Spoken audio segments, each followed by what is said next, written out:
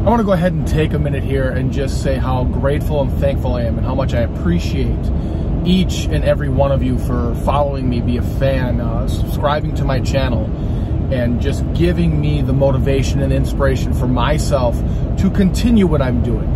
Uh, it's very difficult to kind of create stuff from thin air, uh, to build a business around somebody else, and and help coach and mentor and and guide people into their best selves, into their best lives.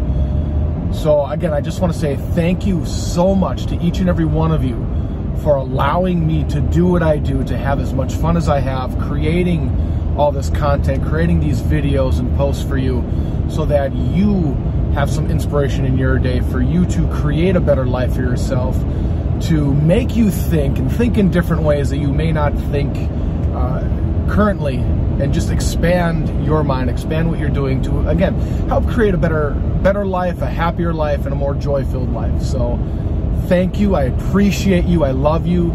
And I hope one day you and I can see each other, shake hands, give a hug, but see each other face to face and just again say how thankful I am for you. So I hope you have an amazing day today and have a great week.